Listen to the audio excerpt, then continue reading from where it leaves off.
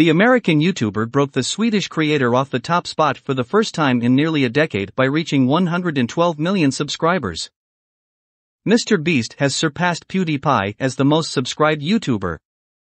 PewDiePie, real name Felix Kjellberg, held the title for nearly a decade and became the most subscribed star on the platform in 2013.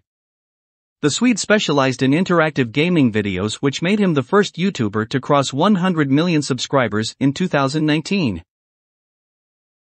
But Mr. Beast finally dethroned him, and he gained 112 million subscribers this month, putting him ahead of PewDiePie's 111 million subscribers. Exact numbers are not shown on the broadcast website.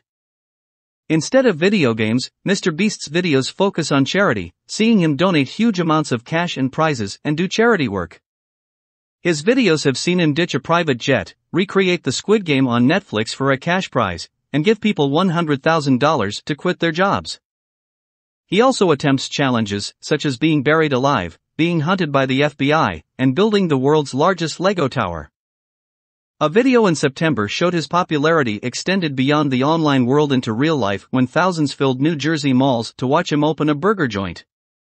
Formerly speaking, PewDiePie said that Mr. Beast will definitely knock him off the lead eventually.